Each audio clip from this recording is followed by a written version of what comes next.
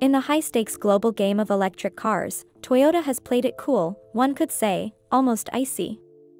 They've long mastered the hybrid game, but EVs? Not so much. At least not just yet. Toyota's strategy resembles a careful chess match rather than an all-out electric blitzkrieg. They've chosen the multi-pathway approach, incorporating various powertrains into the mix. So far, it looks like their cautious demeanor is paying off, especially since other makers of EVs are pumping the brakes on further investments amid sluggish sales. Hello dear viewers, welcome back to EV's Queen, we are growing every day with the support from all of you. Subscribe to know more about the electric mobility. We provide the most recent and updated news every day. That's not to say they're sitting on their hands when it comes to EVs. While the BZ4X is their sole battery electric offering in North America right now, Toyota has laid out plans for a flurry of new EVs with 10 launches around the world, including a US-built three-row SUV that's rumored to adopt the BZ5X nameplate. The BZ5X was previewed by the BZ Large SUV concept in December 2021, among numerous other Toyota and Lexus EVs.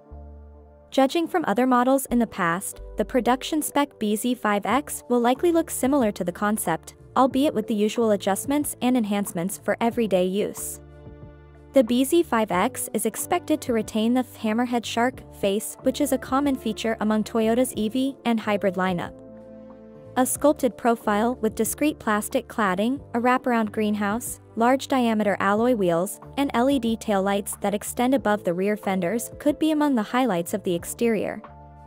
In terms of footprint, the BZ5X should measure close to 197 inches 5,000 millimeters long, as the fully electric equivalent of the Toyota Highlander and a rival to the Kia EV9.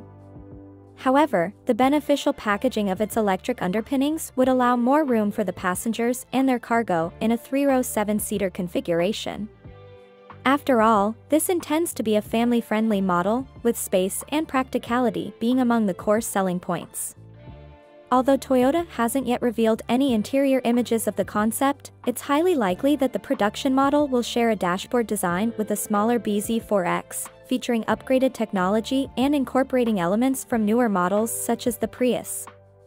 Expect a comprehensive suite of advanced driver assistance systems at ADAS, including the latest Toyota Safety Sense features aimed at enhancing the driving experience. The company remains tight-lipped about the technical specifications of the three-row SUV, but it's reasonable to assume it will utilize a stretched version of the e-TNGA architecture. Given its larger size and weight, it should feature a higher capacity battery pack compared to the 71.4 kWh unit in the BZ4X, resulting in improved range and faster charging. In terms of performance, Toyota will probably employ a dual electric motor setup, enabling all-wheel drive, AWD, capability and rapid acceleration, putting it in competition with rivals like the Kia EV9. It has been officially confirmed that the upcoming three-row electric SUV will be produced at Toyota's Kentucky plant starting in 2025. This facility currently manufactures the Camry and RAV4 hybrids.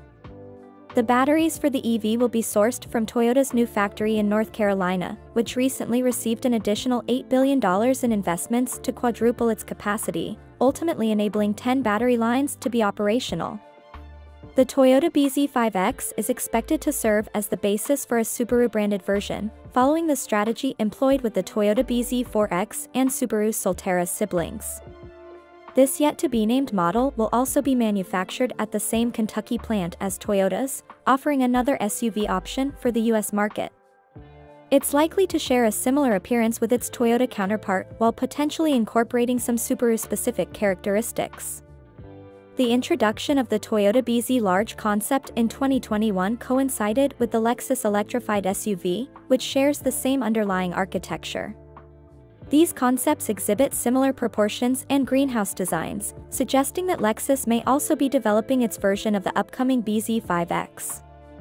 Just like the Lexus RZ, which shares its platform with the Toyota BZ4X and Subaru Solterra, the large SUV could distinguish itself further from its Toyota and Subaru counterparts through unique design elements. A more luxurious and technologically advanced interior, along with the potential for a higher-powered dual-motor setup, might justify the Lexus branding and its typically elevated price point. We'll be sure to keep you in the loop with all the details about the Toyota BZ5X.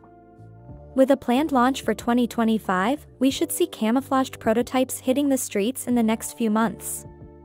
And hey, who knows, we might even catch a glimpse of a concept that's inching closer to production. Thanks for joining.